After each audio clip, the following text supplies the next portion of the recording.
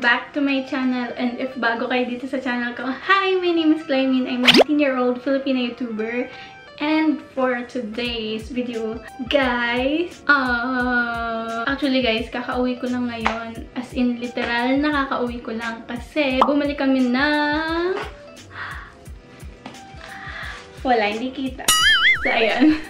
So, bumili kami ng laptop today. Of course, ang gagawin natin ay mag-unboxing tayo ng laptop ko. So, kung gusto nyo mapanood yung pag-unboxing ko, just keep on watching. So, ayan guys. So, kung, kung mapapansin nyo, sobrang good na yung mata ko kasi nga kaka kakauwi lang namin. Pumunta kami ni Mami sa San Pablo para bumili ng laptop pero unfortunately, wala kami nakita yung gusto kong laptop na gusto kong bilhin. So, pumunta kami Kalamba, dun meron laptop. So, ito medyo story time muna. Ito lang i-share sa inyo yung mapili ko ng laptop ko pag bili namin. And, ayun. But ito yung laptop na pinili ko to start this video. I-request ko talaga sa parents ko na ang grad gift nila sa akin ay laptop. So, specifically, nung una ay MacBook Pro yung gusto kong grad gift nila sa akin. Kasi, naging MacBook user na din ako for the past 3 years. And nasanay na talaga ako sa MacBook, guys. Kaya yun yung gusto ko nung una. Dati, final na final na talaga yung decision ko na MacBook yung papabili ko sa kanila. But as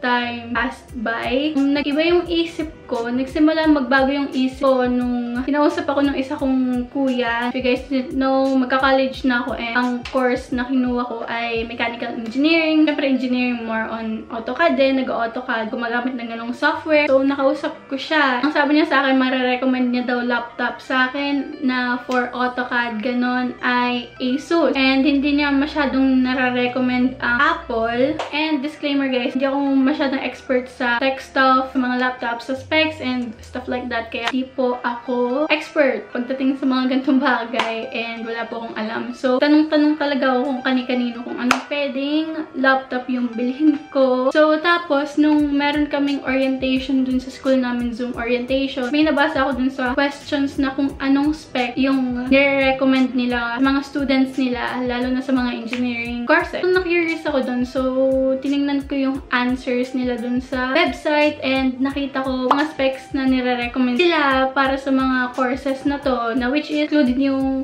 course ko. Simula no, nagdalawang isip na talaga ako. Napag-isipan ko na bumili na lang ako ng Windows kasi napalitan na ng hard drive yung MacBook ko. So, pwede ko na ulit siyang gamitin. And, ayun. So, kinonsider ko na syempre, kailangan ko i-consider yung course ko. Kailangan ko sa college, which is yung laptop. Kinonsider ko na talaga yung specs. And, nagtanong-tanong na nga ako sa iba't ibang tao na kung anong magandang laptop. And, naghanap, nag-search na ako sa Google na kung anong pwedeng laptop na advice advisable sa AutoCAD, ganyan. So, ayun. Ilang, ilang gabi, ilang araw ko na talagang pinag-iisipan kung anong laptop yung bibilhin ko. Kinonsider ko na din bumili ng mga gaming laptop kasi syempre matataas na yung mga graphics ng mga gaming laptop. So, pero ang gusto ko talaga sa laptop ko ay magaan kasi karanasan ko na guys, yung mabigat yung laptop and ayoko talaga ng mabigat na laptop guys. Gusto ko yung magaan lang and super handy. Hanap ko din talaga 13 inches lang kasi ayoko ng 15 inches kasi sobrang laki na nun nun. And kaya hindi din yung gaming yung binili ko kasi ang bigat. Nakikita ko ang kakapal nung sa lalim niya. So pati may nagsabi din sa akin na may mga sites din na hindi na-access sa MacBook. Hindi ko na talaga kinonsider yung MacBook guys. Pero gustong gusto ko talaga ng MacBook. So in the future na lang siguro habang naghahanap ako ng mga laptop na gusto ko. Ewan ko. Ito yung first lap nakita ko habang nag-search ako and na-in-love talaga ako sa kanya guys. Yung laptop na to ay sobrang tamang-tama lang dun sa specs na kailangan ko. Pasok din siya dun sa 13 inches na gusto ko. And ewan ko, nagustuhan ko talaga yung laptop na to. Ito yan, guys. Hindi nyo kita, no? Tanggalin natin itong bag. Freebie lang naman to, guys. Tanggalin natin. Ayan, guys. Wala akong tali pa. Tanggalin na din natin yung tali kasi ang pangat Wow! So, ito na nga yung laptop, guys. Ito yung Asus ZenBook na 13 inches. Habang nga nung nandun kami sa San Pablo, guys, wala na talagang laptop laptop na kaming makita. Tapos sobrang haba pa ng pila. Sabi ni Mami, try daw namin sa Kalamba. Nung nasa SM Kalamba kami, naghanap agad kami ng official store ng Asus kasi may nakita kami official store ng Acer. So, akala namin baka meron din ng Asus pero wala. Naghanap kami and Silicon Valley yung una namin pinuntahan. Buti na lang, meron agad sila. And ayan, ito na nga po ang aking baby. Oh my God. Asus ZenBook 13.3 inches. And, ayun nga guys, sabi nung nagtitindang lalaki, meron daw silang ZenBook and ayun, nung sabi meron ZenBook. Pumasok na kami dun sa store and ayun, nabuksan na siya guys kasi sinat up namin dun sa store mismo. And ayun, let's open it. Ito na po ang ating ZenBook. Mami ang dada. So, thank you po sa laptop na to na kahit birthday po ngayon ng tatay ko ay ako pa po yung niregaluhan niya ng laptop. So, thank you dad, I love you. And mommy, I love you. Let's unbox this, guys. Ayan, kita niyo bukas na Asus. Pagkabukas niyo, ayan. In, ay, pagkabukas niyo, in search of incredible. Wow, may pagganon sila. Saan natin itong part na Tatakot ako buksan. Pero, guys, ito na yung laptop.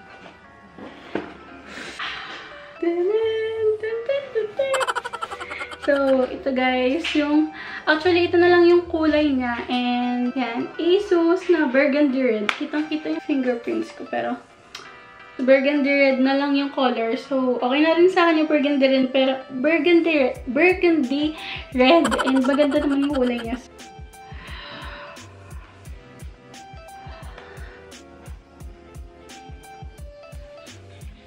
Ayan, so, yan, nakikita niyo yung reflection na ring light. Ang astig nito guys, kasi meron na din siyang recognition, face login recognition, ganun something. So, ang astig din yung touchpad, yung touchpad ay nagiging numeric pad siya. So, ang astig din nun. So, ilalagay ko muna sa tabi guys, yung laptop. Tingnan pa natin kung anong laman. No. So, syempre, of course, manuals. Tapos, meron din silang free cloth na pampahid, ganun. Then, buksan natin ito. Ang um, dito lang ay yung charger. Charger niya. And ano to? Ayan, wala na. Ah! May lalagyanan din pala siya. Naghahanap din kami guys ng ganito, yung lalagyanan niya. And meron pala siyang free, hindi namin alam. Then may freebies din kami guys na ganito bag.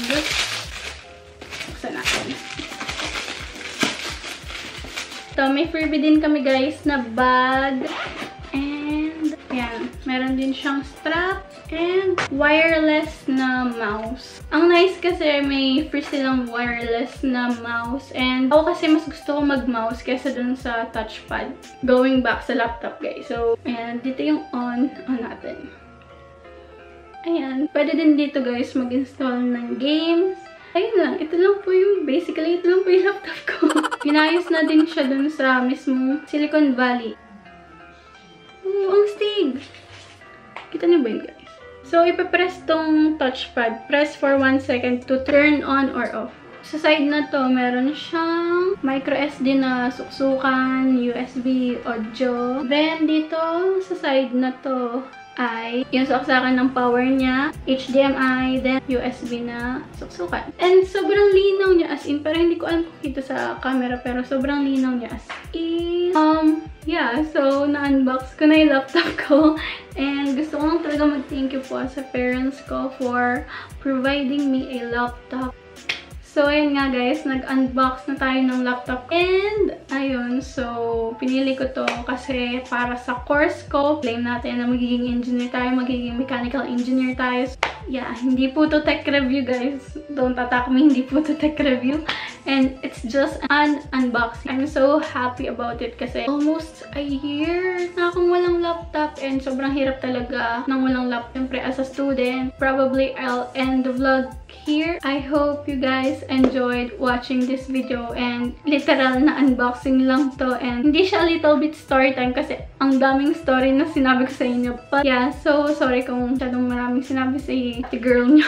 Pero gusto ko lang din i-share sa inyo guys. And thank you, thank you very much guys for watching this video. So if you like this video, give it a thumbs up and subscribe to my channel. Turn on the notification bell button beside the subscribe button para ma-notify kayo every time na nag-upload ako ng new videos and follow me on my social media accounts at I'm Misha with 4A. So see you guys on my next video. Bye out.